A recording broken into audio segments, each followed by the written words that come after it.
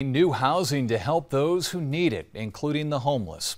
Soon, a new project will start getting built, but we learn how one Watertown City Council member doesn't think the location is best. 7 News reporter Lexi Bruning live tonight on Main Avenue in the city with more.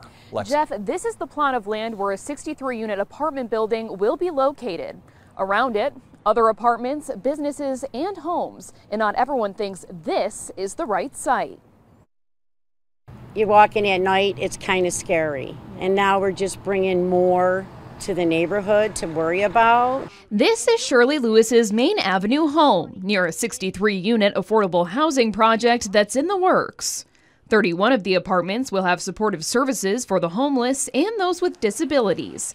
Lewis is worried the project will make existing problems like trespassing and vandalism worse. Just last month, we had a gentleman come through my aunt's slider door and was standing in front of her while she was sleeping in her chair.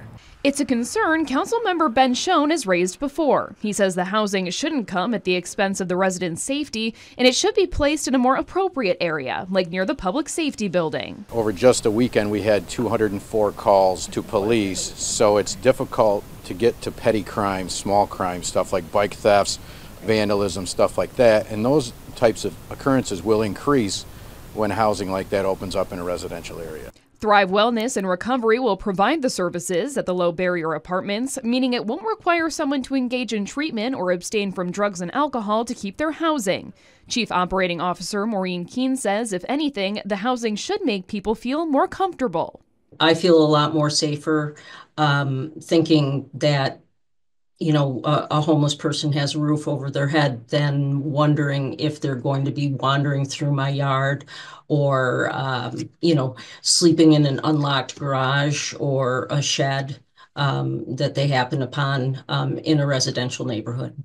Councilmember Cliff Olney defends the location, walking distance to many city services. It's going to provide exactly one of the very critical pieces of the puzzle that we're looking to have put in place for there to be places for people that are homeless to go to. The project was awarded more than $13 million from the state. Keene hopes the project will break ground by the end of this month. Jeff. Lexi Bruning live tonight. Thank you.